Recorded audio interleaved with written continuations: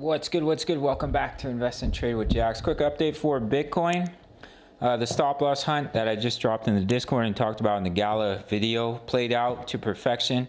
Currently sitting at 21.1k, down 0.8 on the day. Seeing a market cap of 404, baby.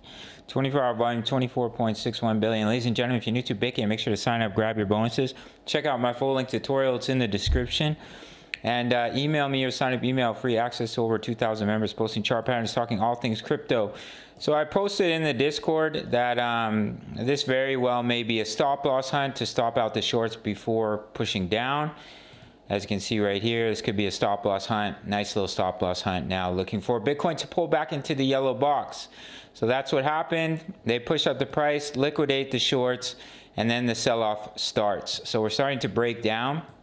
So we're looking for a wave 4 pullback in between 18.6 and 20.1K. Usually a wave 4 will pull back between the 0.382 at 19.2K and the 236 with a maximum retracement of the 50% level.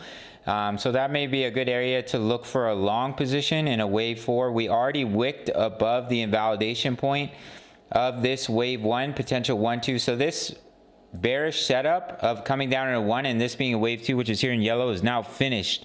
It's been invalidated. It, it wicked higher, so that means that the highest likelihood now, in my opinion, is that we are going to come down in a wave four, see continuation up, push up in that wave one, and potentially pull back in a wave two, and the bottom could be in. I'm hoping that the wave two retracement is deep, so I can load up on my um, altcoin hodl positions, but we'll have to see how that plays out.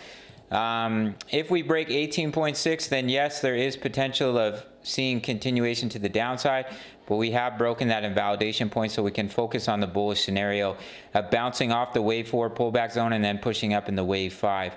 I'll probably look to take a long on either Bitcoin or Matic when we do see this pullback, depending on the price action.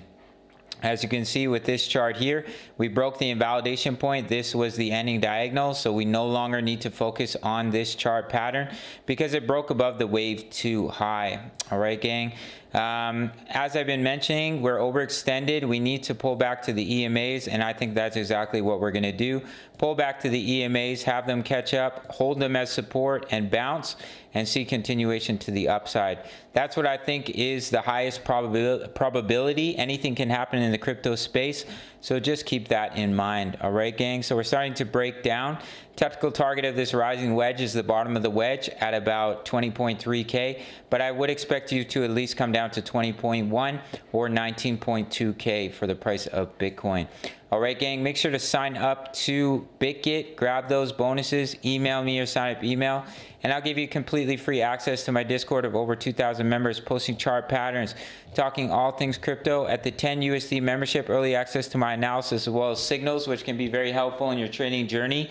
All types of crypto news I've started to post as well. You can see how the members are doing with their own trades, how, see what I'm doing with my HODL alt plays. It's the same price as a Netflix subscription about 10 USD per month. Sign up through the Patreon link, smash the like button for the YouTube algorithm, and I'll see you in the next video. I'm going to go to the gym now and work on my gains. All right, much love. Take care.